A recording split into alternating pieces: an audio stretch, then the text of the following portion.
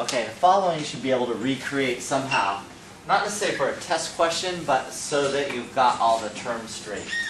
So we've got a gas, a liquid, and a solid. Okay? Uh, going from the liquid to the solid is called what? I am melting. Yeah, there we go. That's what I was looking for.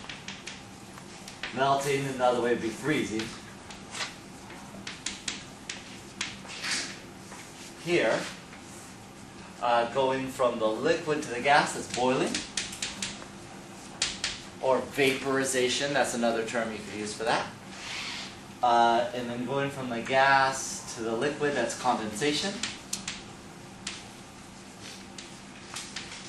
And then you can go from the solid to the gas, or the gas to the solid, solid to gas. Uh, what's that one? Yeah, sublimation. And going from the gas to the solid, that's uh, deposition. Now let's get all our delta H terms straight. So, boiling, that's the delta H of vaporization.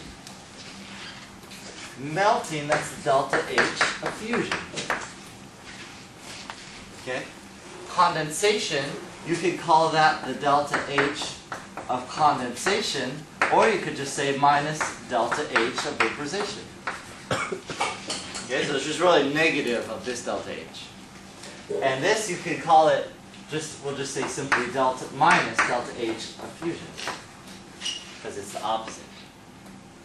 When you get to sublimation, delta H sublimation equals delta H vaporization plus delta H fusion.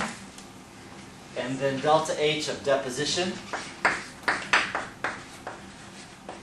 equals negative delta H of sublimation. Okay, so somehow get those terms in your brain. Don't necessarily need this for a question per se, but it'd be more like, uh, I'm going through a freezing process. Which delta H should I look for? And then you'd say, oh, I just need delta H of fusion, I take the negative of it. Or you'd say, oh, I'm going to do a deposition. Which delta H should I look for? Oh, I'm looking for negative delta H of vaporization and negative delta H of fusion. And add those two up.